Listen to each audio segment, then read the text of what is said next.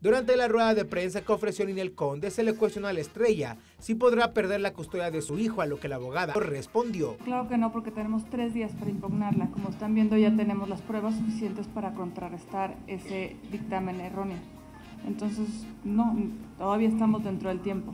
Si ya hubiera pasado el tiempo, si no hubiéramos impugnado, si ya fuera un dictamen firme, sí, sí estaríamos en alguna hipótesis probable no 100% segura, porque tampoco es solamente eso. Para empezar, hay que ver la conducta de los papás. El examen socioeconómico de la ciudad de Inel salió perfecto, cosa que el señor, como ya dijo, no se lo ha hecho. Nosotros hemos pasado todos los demás exámenes, se han hecho, se han estado bien. Todos estos videos ya están ofrecidos en el, en el juzgado como pruebas supervinientes.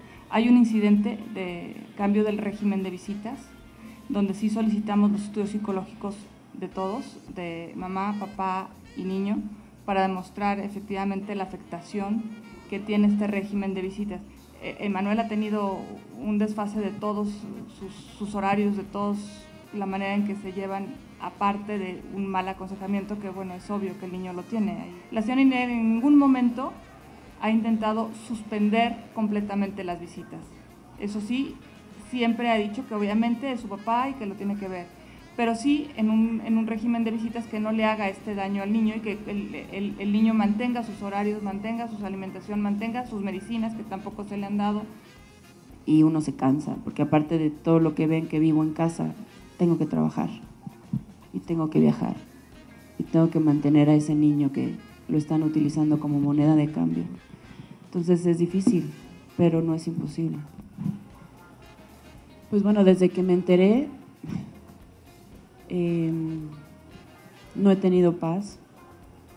Estoy muy asustada porque nunca pensé que, que eso fuera a suceder. No pensé que alguien se atreviera a equivocarse de esa manera con una figura pública que es tan fácil comprobarlo como un estudio, un segundo, tercero, cuarto, quinto, los que quieran. Y me voy a someter a 10, 15, 20, 30 porque tengo la verdad de mi lado.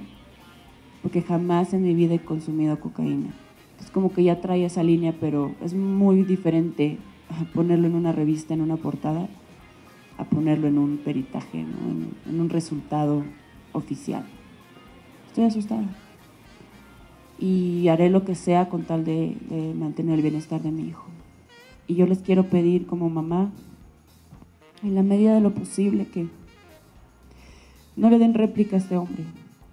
Él no es figura pública y solo quiere dañarnos. En la medida de lo posible se los pido. Con imágenes de Enrique Tirado informó para la cuchara Rodrigo Montiel.